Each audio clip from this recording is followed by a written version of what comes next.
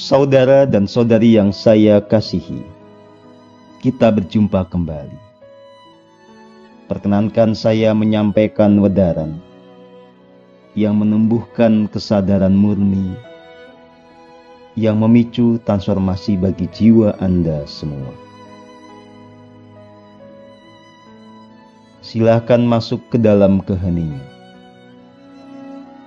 Karena apa yang saya sampaikan hanya bisa dimengerti dengan jelas di dalam keheningan. Hening berarti pikiran Anda sepenuhnya tertuju pada momen saat ini dan di sini. Anda meresapi atau menikmati sepenuhnya setiap tarikan dan hembusan nafas. Anda sadar penuh akan keterhubungan dan kesatuan dengan sang sumber kehidupan dan keheningan berarti pula pikiran kita, rasionalitas kita terhubung dengan rasa sejati sebagai perangkat dari keberadaan ilahi di dalam diri kita.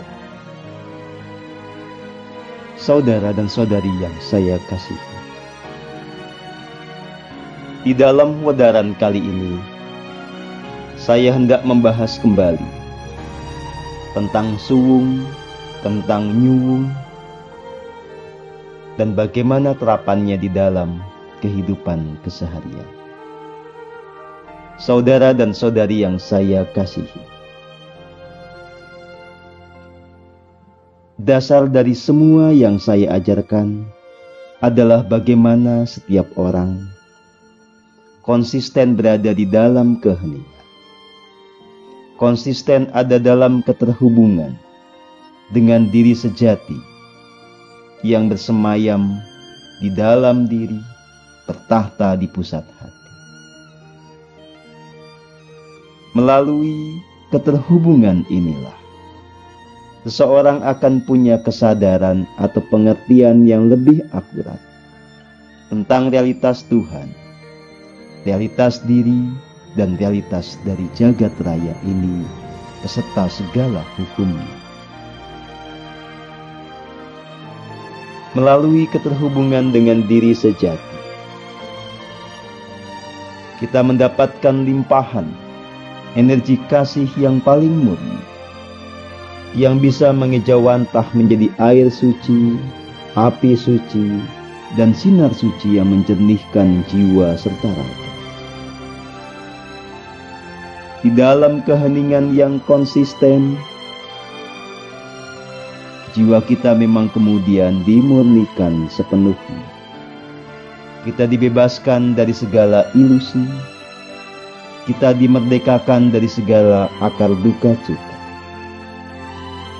Kita juga dibebaskan dari segala jeratan jejak dosa yang kita perbuat.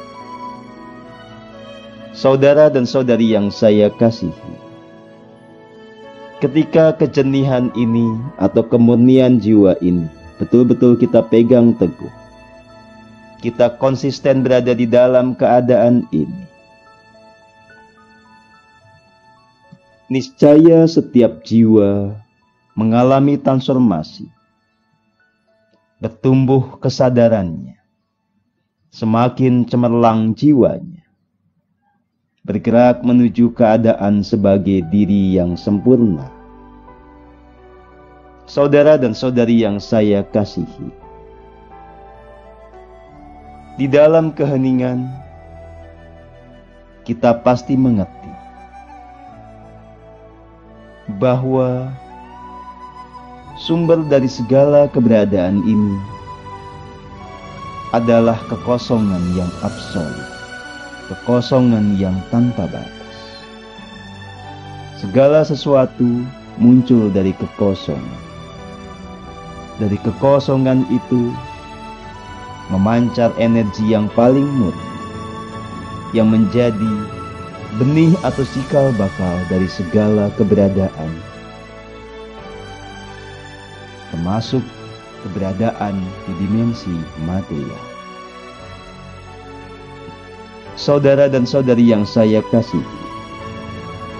Keheningan yang kita jalankan membawa kita untuk menyadari kesatuan dengan kekosongan absolut ini.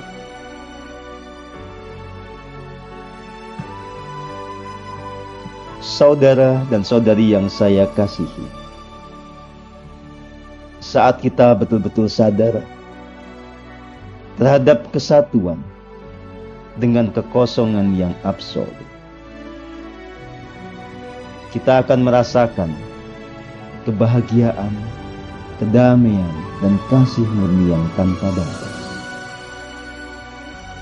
Inilah kondisi yang memungkinkan transformasi jiwa seutuhnya. Pada titik inilah kita belajar dan terbimbing untuk melebur segala keakuan kita. Di dalam kesatuan yang agung, kita menjadi pasrah total, membiarkan segala gerak pikir, kata dan tindakan kita sepenuhnya merealisasikan kehendak dari sang sumber kehidupan. Saudara dan saudari yang saya kasihi, ilmu suung yang saya ajarkan mengajak Anda semua untuk selalu berada di dalam kesadaran kesatuan agung ini. Dengan cara itulah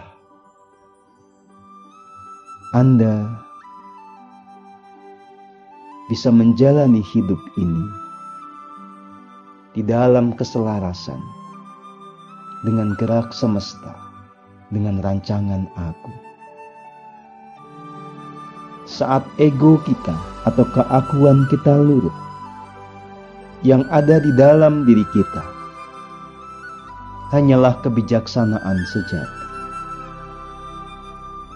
Kita bergerak, kita melangkah, kita berpikir, kita berkata dengan kebijaksanaan.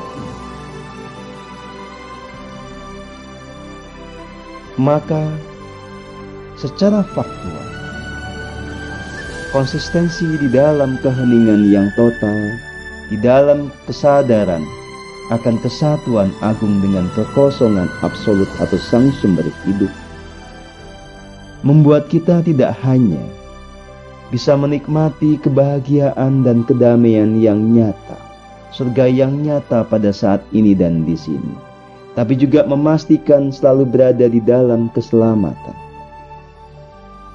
Silahkan direnungkan apa sesungguhnya yang dirindukan oleh setiap jiwa. Saya bisa pastikan, inilah yang kita bicarakan inilah yang betul-betul merupakan kerinduan bagi setiap jiwa. Siapa pun Anda, apa pun latar belakang Anda di masa lalu, Anda merindukan kebahagiaan dan kedamaian sejati. Anda merindukan surga yang nyata pada saat ini dan di sini. Maka bersukacitalah karena jalan untuk mencapai itu telah dibukakan. Telah ada jalan yang sangat sederhana. Bagaimana Anda tercerahkan setahap demi setahap, termurnikan jiwanya lapis demi lapis, hingga kemudian mengalami kesatuan agung dengan sang sumber hidup dan bisa konsisten berada serta menikmati kebahagiaan dan kedamaian yang sejati ini. Inilah intisari dari ilmu suwung yang saya ajarkan. Sederhananya, sebagai pengingat bagi Anda semua. Ini adalah tentang bangkitnya jiwa yang agung. Sebagai buah dari keheningan yang konsisten. Yang memastikan pikiran terhubung dengan rasa sejati. Jiwa kita sepenuhnya menyatu dengan spirit atau sang diri sejati yang menjadi esensi keberadaan kita. Yang berlanjut kepada pemurnian jiwa secara terus-menerus, yang berbuah kepada bangkitnya kesadaran kesatuan agung. Dan kesadaran akan kesatuan agung inilah yang menjadi landasan bagi segenap tindakan kita di dalam keseharian. Siapa pun yang telah dengan serius, dengan tekun, menyelami keheningan, hingga merasakan keterhubungan dengan diri sejati maupun merasakan kesatuan agung ini. Niscaya bisa menangkap pesan-pesan semesta yang muncul dari relung jiwa. Pasti bisa menangkap suara dari hati yang paling dalam yang sejatinya adalah suara Tuhan. Jikapun bukan suara, bentuknya adalah pengertian. Kita bisa menangkap apa sejatinya kehendak dari Tuhan Yang Maha Esa. Maka pada titik itu, yang dibutuhkan oleh kita hanyalah kesetiaan. Untuk menjalankan semua titah itu tanpa keraguan. Dasar dari kemajuan spiritual adalah kepatuhan, kesetiaan kepada titah ataupun tuntunan dari Tuhan. Dan terkait dengan hal ini, kita betul-betul diminta untuk jujur pada diri sendiri.